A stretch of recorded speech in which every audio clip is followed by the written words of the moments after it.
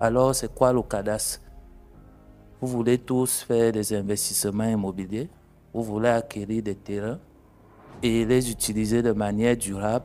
Et bien, le c'est celui-là qui est le gardien de la terre. C'est lui qui vous donne la bonne information sur la terre. C'est lui qui sécurise vos investissements.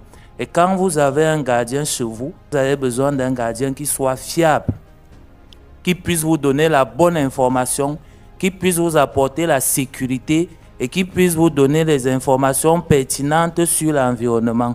En fait, c'est ça le cadastre. Mais chez nous, là-bas en Afrique, dans plusieurs pays, c'est pas toujours ça. Sur argentlivre.com, lisez et changez de vie. Bonjour et bienvenue à tous à ce panel, à ce face-à-face. Nous recevons aujourd'hui un invité spécial qui nous vient tout droit du Cameroun. Tu es arrivé il y a deux jours, non? Oui, il y a deux jours. Ok, donc il est arrivé il y a deux jours spécialement pour le week-end de l'écrivain. Et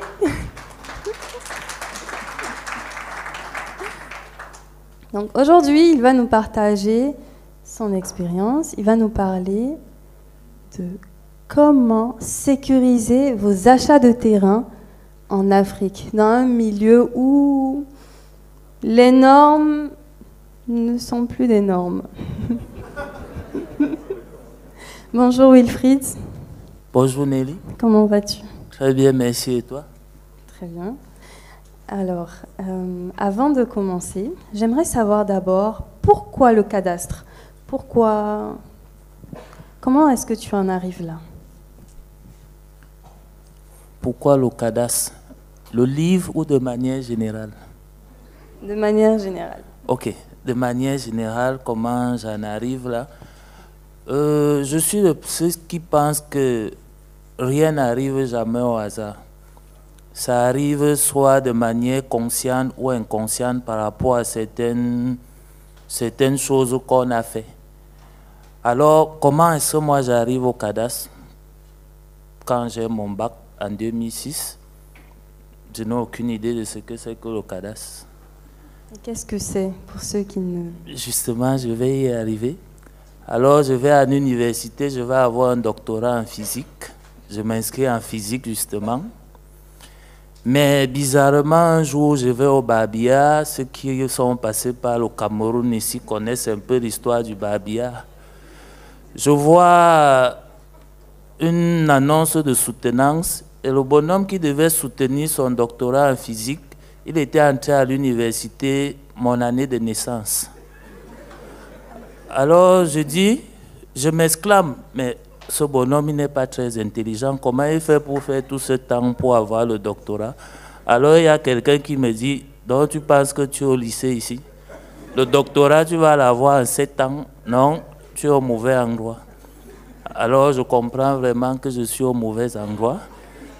Je me rappelle d'un rêve que j'avais étant au de par là, devenir ingénieur. Je fais donc des concours pour des écoles d'ingénierie. Je prépare les dossiers et bizarrement, c'est mon papa qui va déposer mon dossier. J'avais choisi génie civil pour construire les bâtiments et autres. Il est allé, il a changé, il a mis ingénieur géomètre. Comme je ne voulais plus rentrer à l'université, je suis allé composer, j'ai réussi. J'arrive donc, je me forme, je deviens ingénieur géomètre. Après la formation, je suis recruté dans l'administration en charge du cadastre. Il faut se dire déjà que lors de la formation, j'ai un diplôme d'ingénieur de topographie et cadastre, mais on nous parlait beaucoup plus de topographie et pas de cadastre. J'arrive dans l'administration, je peux à peu près une douzaine d'années. Ce que je sais, où je recherche, je regarde ailleurs qui est le cadastre, ce n'est pas ce que je vois. Et chez nous, aussi bien les décideurs, les professionnels eux-mêmes, le grand public ne savent pas ce que c'est que le. Alors, c'est quoi le Vous voulez tous faire des investissements immobiliers, vous voulez acquérir des terrains et les utiliser de manière durable. Et bien, le c'est celui-là qui est le gardien de la terre. C'est lui qui vous donne la bonne information sur la terre. C'est lui qui sécurise vos investissements. Et quand vous avez un gardien chez vous, vous, avez besoin d'un gardien qui soit fiable, qui puisse vous donner la bonne information, qui puisse vous apporter la sécurité et qui puisse vous donner les informations pertinentes sur l'environnement. En fait, c'est ça le cadastre. Mais chez nous, là-bas en Afrique, dans plusieurs pays, ce n'est pas toujours ça. C'est tout autre chose sauf ça. Nelly l'a paraphrasé tout à l'heure, où les normes ne sont plus les normes. Euh, je ne le dirai pas ici, mais on n'est pas loin de là. Merci Wilfried. Alors, on va rentrer directement dans le vif du sujet. Comment est-ce qu'on sécurise un achat en Afrique? Est-ce possible? Oui, il est possible de sécuriser un achat en Afrique, notamment au Cameroun, que je maîtrise bien. Et pour avoir discuté, échangé lors de plusieurs euh, forats, avec des personnes d'ici et d'ailleurs, Côte d'Ivoire, Togo, Burkina Faso, c'est possible de sécuriser cet achat de terrain en Afrique. Et comme je disais tantôt, il faut avoir l'information, la bonne information. La bonne information, elle est supposée se trouver où elle est supposée se trouver au cadastre. Elle est supposée. Mais quand elle ne se trouve pas là-bas, où est-ce qu'on la trouve? Où est-ce qu'on la trouve, on doit bien maturer son projet d'acquisition de terrain. La sécurisation de son investissement en termes de terrain commence au niveau de l'idée. On ne va pas acheter un terrain par mimétisme. Ça doit être une partie d'un projet. Mon projet, c'est ceci. Je veux le terrain pour faire ceci. Je le veux à tel endroit. Je veux qu'il ait telle, telle caractéristique. Ce n'est pas parce que Mamadou a acheté un terrain, je ne sais pas où là, comme moi aussi je vais aller acheter ce terrain. Alors que, par exemple, chez nous au Cameroun, il y a une culture qui veut qu'on achète son terrain pour se bâtir en ville sur une voie qui mène dans son village. Alors, vous allez voir des gens, euh, Mamadou, lui, il est à Paris Nord, je ne sais pas où Paris Nord mène mais parce que Nelly a acheté son terrain à Paris Sud et qu'il aime bien être à côté de Nelly, il va aller acheter le terrain à Paris Sud. Et puis le jour où il faut faire le voyage pour aller au funérailles, il est obligé de traverser toute la ville pour se rendre dans les funérailles et très souvent il est en retard. De la même manière, de la même manière, son activité génératrice de revenus peut être ici à Roissy Charles de Gaulle, mais le bonhomme va aller s'acheter un terrain à Orly, par exemple, avec ce que ça coûte en termes de transport, en termes de temps pour se rendre à son boulot tous les jours, parce que son projet ne l'a pas bien maturé. Après la maturation, dans cette même phase de maturation du projet, il faut savoir à qui s'adresser. Il faut connaître soi-même les réglementations qui sont applicables. Parce que si vous ne connaissez pas les réglementations qui sont applicables, vous ne savez même pas, vous ne savez pas non plus à qui vous agressez, vous êtes doublement perdu. Parce qu'en fait, chez nous là-bas encore, il y a beaucoup de professionnels, entre guillemets, qui n'en sont pas. Alors quand vous tombez sur l'un d'entre eux, vous n'avez pas une petite connaissance de la réglementation, il peut vous dire tout et n'importe quoi. Alors vous tombez dans le piège et c'est parti pour des tracas, des mots de tête après. Il y a cette question de réglementation, il y a cette question de professionnel. Après, la question de l'achat de terrain, ce n'est pas aussi une histoire de comme j'ai tel au pays, je vais lui envoyer mon argent, il va acheter le terrain, et puis c'est mon frère, on a grandi ensemble, il ne peut pas, il ne peut pas, il ne peut pas. Ah, j'en connais beaucoup d'histoires où j'ai envoyé mon argent à tel ou tel autre au lieu de m'acheter le terrain, il s'est construit une jolie maison. Ou alors, il a acheté deux terrains. Il a pris le meilleur et il m'a laissé un terrain par là, pas toujours bien situé haut. Le terrain, quand on l'achète, on ne l'achète pas sur un coup de tête après. Et il faut éviter la précipitation dans l'achat d'un terrain. Quand vous vous précipitez, vous allez très souvent vous faire avoir même si l'offre vous semble alléchante, il y a des vérifications préalables à faire et des vérifications profondes. Les vérifications préalables, c'est peut-être quoi? Faire visiter le bien, demander autour, prendre les informations autour sur la situation du bien, se rassurer que le bien a tous les documents qu'il faut, tic foncier par là, certificat de propriété et autres. Une fois que vous avez ces informations et que du bouche à oreille, vous savez que ce terrain, il ne souffre d'aucun problème, il appartient bien à la personne qui vous le propose, il faut maintenant vous rassurer que le terrain n'est grévé d'aucune charge. Pour se rassurer que le terrain n'est grévé d'aucune charge, vous allez peut-être à la conservation. On va vous établir un certificat de propriété qui vous dit si le terrain est hypothéqué, s'il y a une prénotation judiciaire, etc., etc. Mais ça ne s'arrête pas là. Chez nous, la conservation et le cadastre ne sont pas liés. Il y a encore, après avoir vérifié que le terrain n'est grévé d'aucune charge, il y a la question de la disponibilité même de la parcelle. Vous pouvez avoir un terrain qui n'est grévé d'aucune charge, mais qui n'est pas disponible. Il n'est pas disponible, pourquoi? Peut-être qu'il y a un projet d'utilité publique, la zone a été déclarée d'utilité publique, les transactions sont suspendues dans la zone. Alors le terrain, lui, en ce temps-là, il n'est pas disponible. Or, ces informations, vous ne les avez pas sur le certificat de propriété.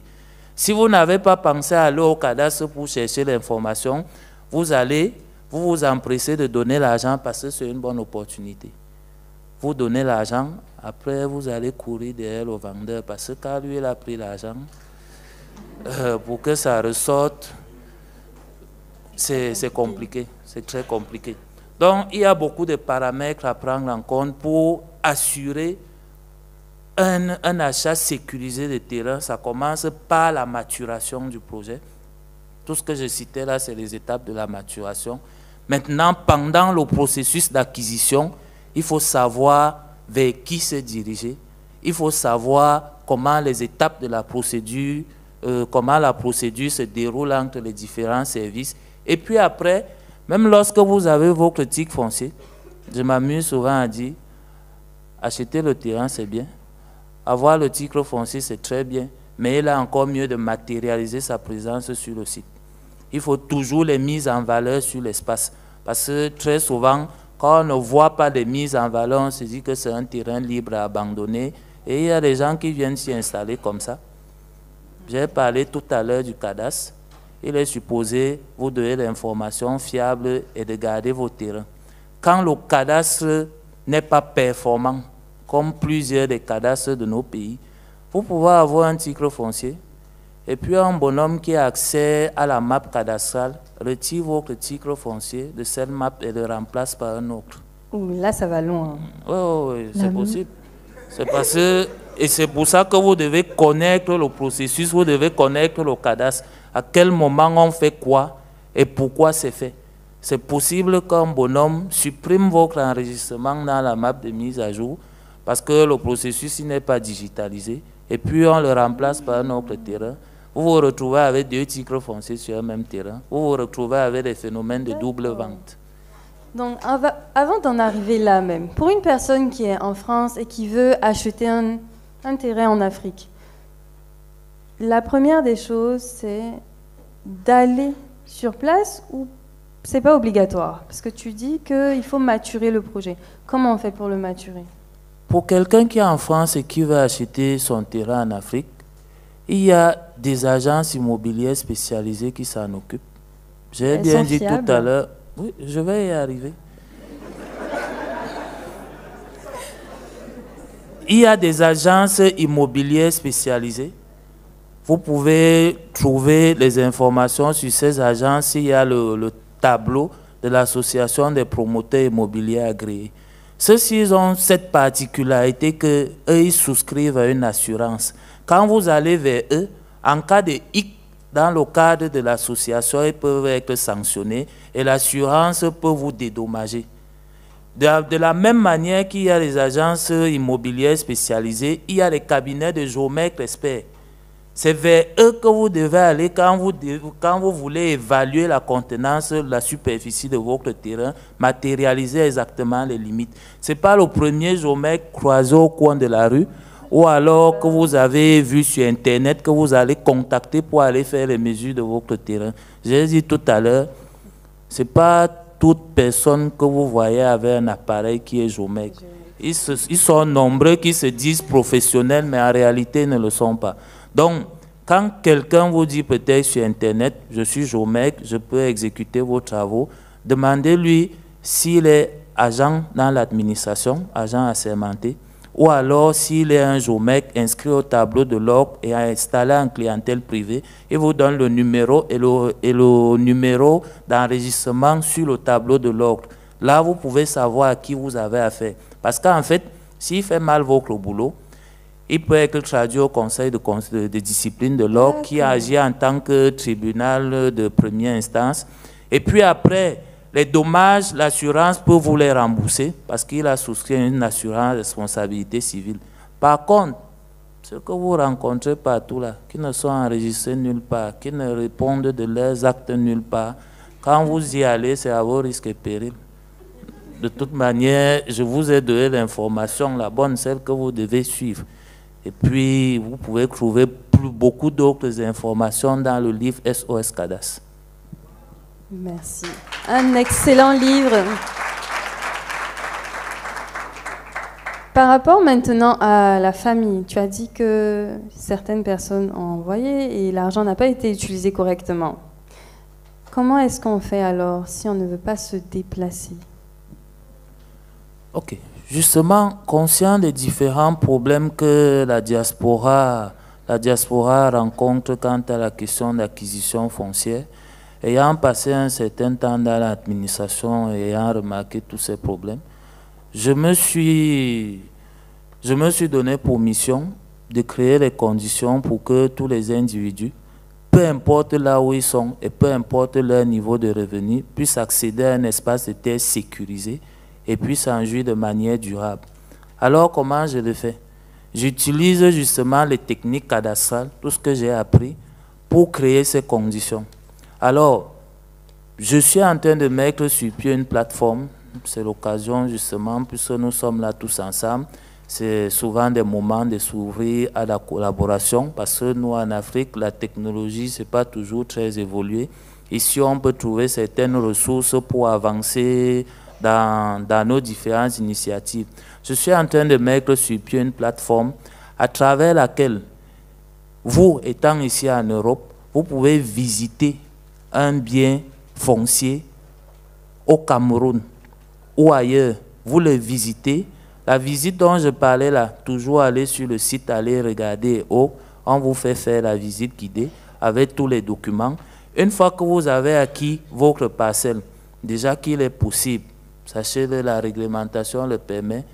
Vous pouvez prendre deux semaines par là. Vous arrivez au Cameroun.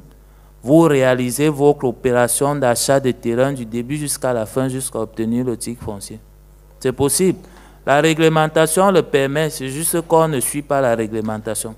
Quand vous voulez acheter une parcelle, quand vous voulez acheter une parcelle, vous n'avez pas besoin d'arriver au pays pour commencer à chercher à faire établir le dossier technique.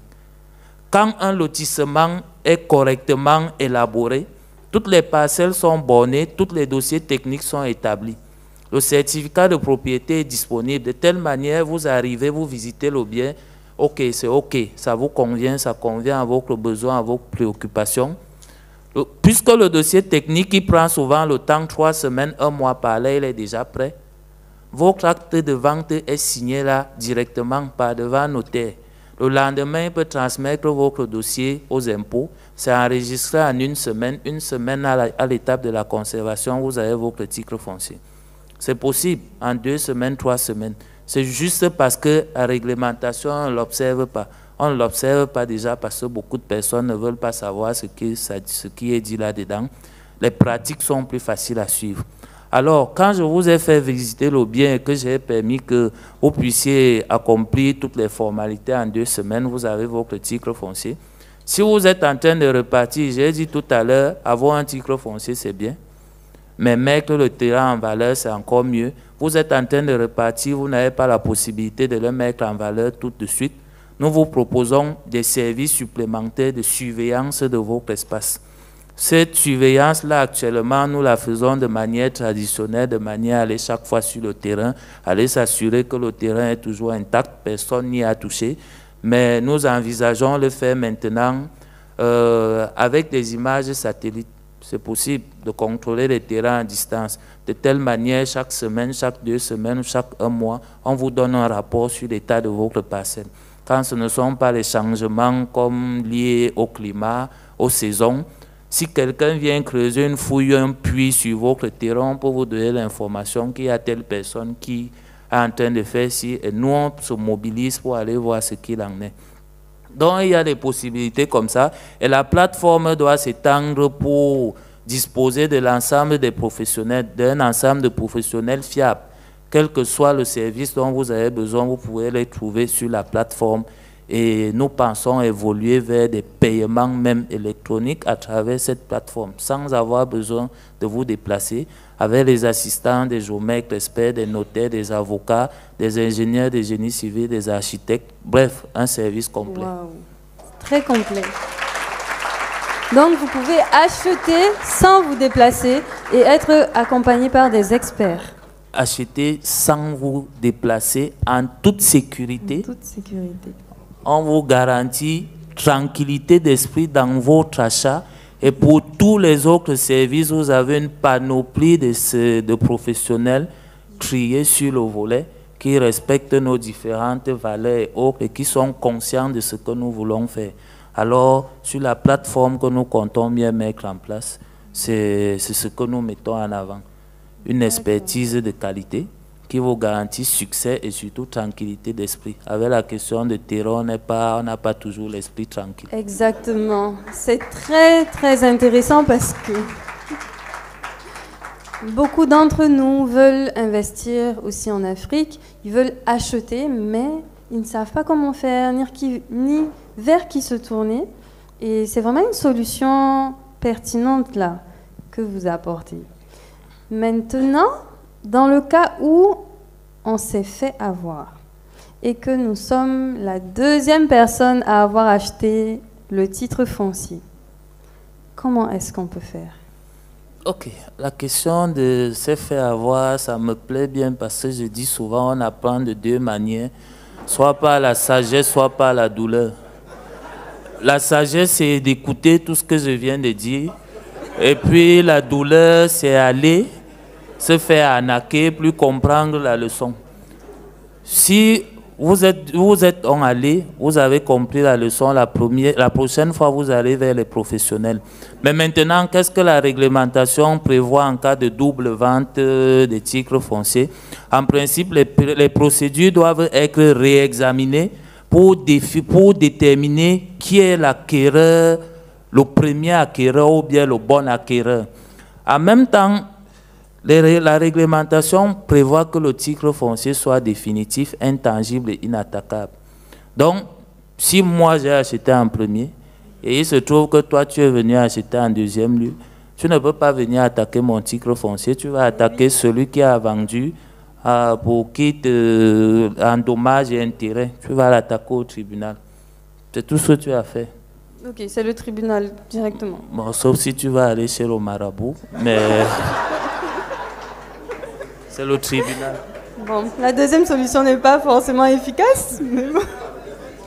Ah, je sais pas, je vois souvent des publications sur Facebook où les abeilles poursuivent les gens, je sais pas si ça marche.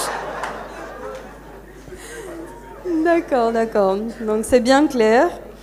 Est-ce que dans la salle, il y a une personne qui a vécu une expérience similaire ou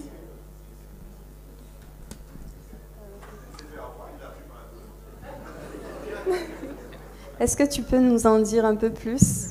Euh, Oui, bonsoir à tous.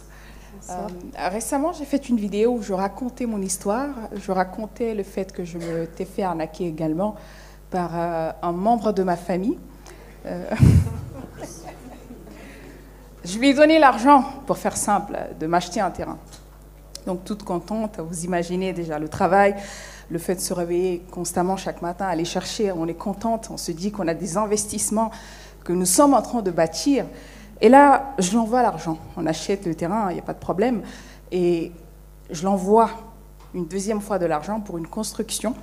Et là, il m'appelle un jour. Il me dit, tu sais, jusque-là, j'ai acheté ton terrain. Je dis oui. Jusque-là, j'ai fait tes papiers. Je dis oui. Il dit, mais il s'avère que mon fils a failli avaler un congélateur. Pour pas dire... Avaler un congélateur. Non, non, non, pour pas dire en fait qu'il y a un congélateur qui, est, qui lui est tombé dessus. Et euh, finalement, qu'il a pris tout l'argent de construction que je lui ai envoyé pour le soigner à l'hôpital. Et cette personne, c'est une personne très proche. Face à un oncle, qu'est-ce que je pourrais dire? Et d'ailleurs, quand j'ai commencé à m'enflammer, parler, ma mère a dit hum, Attention, c'est ton oncle. Je dis Je veux pas savoir, même si c'est le pape, c'est mon argent. Vous voyez ce que je veux dire? Et là, je l'ai perdu cet argent. Et pour vous dire, c'était plus de 5 000 euros, hein. c'est parti en 20. Donc, ce genre de choses, quand ça nous arrive, effectivement, comme il a dit, premièrement, ça vient du manque de sagesse. J'ai pas écouté les bonnes personnes. J'ai voulu faire à ma tête, euh, oui, d'accord, j'ai acheté le terrain, il faut entourer tout de suite. En plus, ils me mettaient beaucoup de pression. Tu verras comment euh, ton terrain va disparaître, ceci, cela. Donc, effectivement, j'ai pas été sage, j'ai pas écouté, j'ai pas consulté les gens. Et euh, il a bien fait d'être là, il a bien fait d'expliquer justement de faire attention à ces choses-là. Jusqu'ici, j'ai pas pu récupérer l'argent et le terrain, je l'ai mis en stand-by quoi, parce que j'ai pas que ça à faire. Voilà. Merci. Toujours bien d'apprendre de l'expérience des autres également. Et quel serait le, le mot de la fin? Est-ce qu'il en faut bien un? Je laisserai Wilfried répondre, répondre rapidement. Très rapidement, je lui dis, ces 5 000 euros, elle ne les a pas perdus. Elle a payé le prix pour apprendre. CRS James, GBS Music. c'est encore moi, c'est encore la 3D. Les éditions Argent Livre. Immortel. Les éditions Argent Livre. Si je pouvais changer l'histoire, mon expérience j'allais la partager. Car beaucoup d'humains se trompent, par faute de recueil pour s'inspirer. Quand on pas de grandir, c'est pas question de l'âge ou de physique. On parle de vision, on parle de rêve. Des livres pour forger Les le mindset. Argent Hey. Livre. Concrétiser vos rêves en changeant de vie. C'est l'unité de mesure de la réussite. Coucher ton histoire sous forme de livre. Édition à l'appel, place à argent libre. Et y a ceux qui écrivent et ceux qui lisent. Ceux qui écrivent pour changer de vie. Et y a ceux qui lisent et ceux qui écrivent. Ceux qui lisent pour changer. Écrire pour impacter, je suis immortel. Aïe, aïe, Écrire pour impacter, je suis immortel. aïe, aïe. On veut changer l'histoire, laisser un héritage, écrire pour impacter, je suis immortel. Aïe, aïe. Donne-moi une feuille et puis un stylo. Oui. Pour s'ouvrir au monde sous forme de plusieurs mots. Frère, tu sais pas besoin d'être au niveau. Argent. Écrire un livre, c'est pas affaire d'intello. On renaît de ses cendres grâce à un livre. On raconte les meilleurs grâce à des livres. Et même, et même si t'arrêtais de vivre, tu seras immortel grâce à un livre. Les éditions Argent Livre. Concrétisez vos rêves en changeant de vie. C'est l'unité de mesure de la réussite. Coucher ton histoire sous forme de livre. Édition à l'appel place à argent libre. Et y a ceux qui écrivent et ceux qui lisent. de l'écrivain. Ceux qui écrivent pour changer de vie. Et y a ceux qui lisent et ceux qui écrivent. de l'écrivain, Ceux ouais. qui lisent pour changer. Écrire pour impacter, je suis immortel. Aïe, aïe, Écrire pour impacter, je suis immortel. aïe, aïe. Veut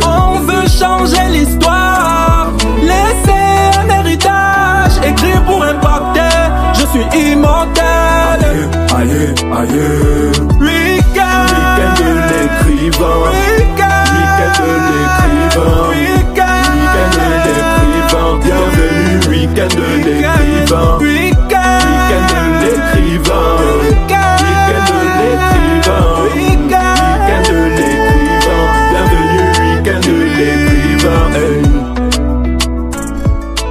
Écrire pour impacter, telle est notre devise. Parce qu'un Africain qui écrit, c'est une bibliothèque qui se construit.